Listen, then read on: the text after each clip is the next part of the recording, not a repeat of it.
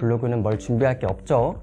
컴퓨터만 있다면 언제 어디서라도 할 수 있기 때문에 이 영상을 보는 지금도 마음만 먹는다면 바로 시작할 수 있습니다.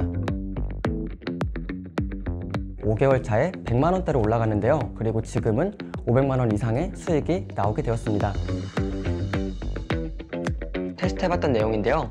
다음은 블로그를 개설하고 한 달이 지나면 사이트 등록이 되면서 최적화가 되었습니다. 관련 정보가 궁금한 분들은 내 글을 보겠죠.